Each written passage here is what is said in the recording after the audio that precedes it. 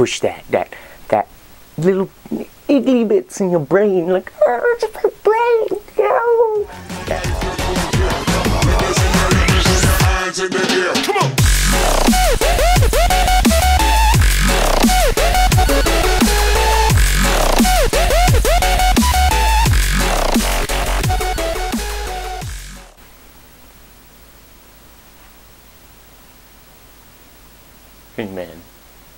I noticed you noticing me.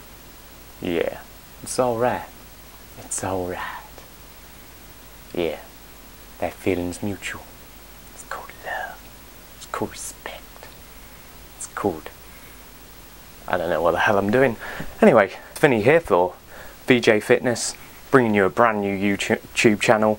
This week, bringing out something a little bit different, bringing out probably carrying this on throughout a couple of the weeks. You know, we'll see how it goes. And I find it's really, really, really helpful to vent. Um, vent your anger or release your anger in a healthy manner. Um, yeah, I know this may sound patronising and a bit weird, but I do. That's one of my beliefs. It's good to exercise. It's good to have a little bit of a bitch. It's good to have a moan. You know, hey girl. It's good. It's good. It's creative. It's constructive. It's something we all need to do, especially in the society we live in now, and especially with the internet use. It's an incredibly good way to just sort of vent yourself. I think it's healthy. You know, you've got to get all that energy. You've got to get it out. You've got to get that energy out. You've got to push that that that little iggly bits in your brain, like oh, it's my brain, no. Yeah, those iggly bits. You need to get them out. Get them out voice them, give them wings, let them fly. Don't know what the hell that is. Welcome to VJ Fitness, as I said, Vinny, and welcome to look at my notes here. You know what really dents my kettlebells? When I mean dense, you know what really gets my kettlebells nice and tight? You know, down there, makes them nice and tight, makes them just shrivel up inside my body. Dropping weights in gyms. Okay? A lot of new gyms coming out everywhere. You know, America, England, it's all the same. Everyone trying to get on this whole fitness wagon. New gyms opening up everywhere. I mean, they're coming out. Like, there's one here, there's one there. One, come to us. Come to us. We got a special offer. Come to us. You're, we're so good. All this shit is everywhere. But a lot of them now, you coming out, you go in, Get a nice barbell on the floor. Get your hands either side of that. Put your weights on. You do your deadlift, you come right up. Really tense those back muscles and then drop the weight. Because I don't want to be damaging myself putting it to the floor. I don't want to try to get past my knobbly knees. Oh, I've got big fucking knees by the way. Try and get past that? No. I'm going to drop the weight to the floor. But the day, guy comes up to me. Hey mate, so can't be dropping no weights in here. What? Can't be dropping any weights. What do you mean I can't be dropping any weights? You can't drop weights in this gym. Gyms are meant, weights are made to be dropped. They're made of solid iron. Metal. Yeah, you can't drop them. You might damage something. What the? Hell am I going to damage? These weights are made. They're durable. You cannot break it. You cannot break them. I mean, can't drop them. Might damage the floor.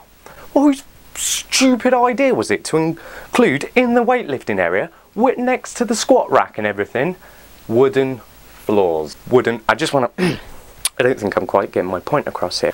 Wooden floors in a squat racking area. What idiot's idea is that? Of course, just, I don't want to be doing my deadlifts and every time I come down or what are the, you know, any compound exercises, bringing the weight down and scared I'm going to dent the floor. Why make it out of wood? Why? Why? Where's the sense in that? There is no sense. Really isn't. So anyway, I explained this in a very polite manner because, you know, I don't like to offend people, which is why I'm venting it out on here. I, you know, I went up to him, I was like, well mate, why you got wooden floors? Well, came with wooden floors. What do you mean it came with wooden floors? When we like bought the place, like, we had to resurface it and there was already wood. So we used the wood. Bloody stupid person are you. Best one though, went into another gym.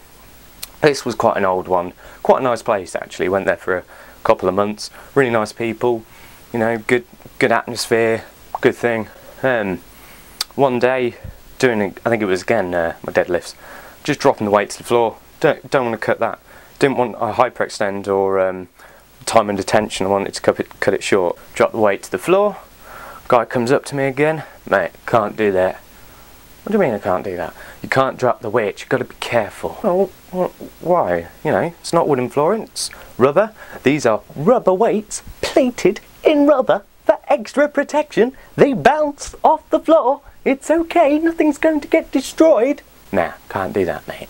What you see is, uh, I was in the basement the other day, and underneath the concrete floor, where all the support, and I cannot believe he said this, Cannot believe the gym was still operational for three months. Three months after this, before it was repaired. Yeah, mate. Yeah. Um, went down into the basement back, and uh, the support beams under the concrete were like rusted away. They were like orange, like proper orange, rusted away. Well, that can't be good. The, I'm standing here with about 200 kilograms on a bloody barbell The fuck, I'm gonna fall through the fucking floor. But that's why I don't want you to drop the weight. You might go through the floor. What sort of gym is this? So, yes, stupid people, stupid, stupid people. Weights are made to be dropped, okay? If you own a gym, if you're uh, working in a gym, and you often say this to people, you are the people I love. Love's not the right word. You, honest to God, weights are durable. Very, very, very few times have I actually seen a weight break. And that's because it's 20 years old and halfway rusted through or something like that. They are made to be dropped. They are durable. They are freaking metal, most of them. Nowadays, they're even coming out covered in rubber for extra protection. What is there that you don't understand? You can drop the weights. Anyway, so that's my rant. It's my little thing. Just thought I'd put that out there. Might turn this into a weekly thing. Let me know what you think. What really, what really dents your kettlebells? What makes your kettlebells nice and tight? Just let me know. You know, comment, subscribe, like, message, view, do whatever the hell you want. This is my rant, my rant. That, that, ladies and gentlemen, is what really dents my kettlebells. At the end of the day, respect the gym rules, respect one another. Peace, guys.